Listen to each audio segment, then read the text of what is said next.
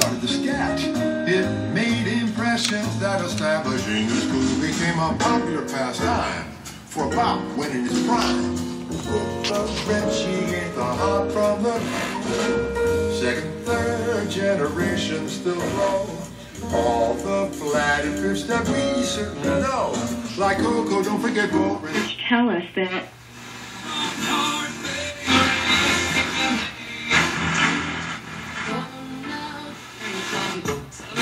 Identify your